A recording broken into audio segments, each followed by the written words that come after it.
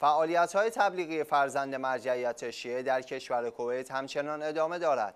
آیت الله سید حسین شیرازی فرزند مرجع عالی قدر آیت الله العظما سید صادق حسین شیرازی دامزله به فعالیت های فرهنگی و اجتماعی خود در کشور کویت ادامه می دهد.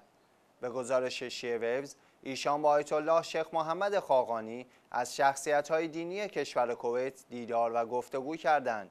حضور در دفتر حجت الاسلام و المسلمین شیخ محمد جمعه بازدید از کاروان خورشید و شرکت در مراسم چهلم مرحوم حاج علی خاجه از شخصیت های اجتماعی کشور کویت نیز از دیگر فعالیت های آیت الله سید حسین شیرازی در این کشور بود.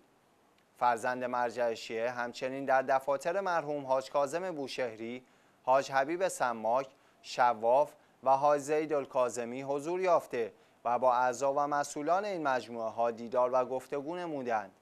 بررسی مسائل روز جهان اسلام و گفتگو در رابطه با اوضاع اجتماعی شیعیان در کشور کویت از جمله مسائل مطرح شده در این ملاقات ها بود. شایان ذکر از پیش از این شخصیت ها و چهره های سرشناس در کشور کویت با حضور در دیوانیه آیت الله لزما شیرازی با آیت الله سید حسین شیرازی دیدار نموده بودند.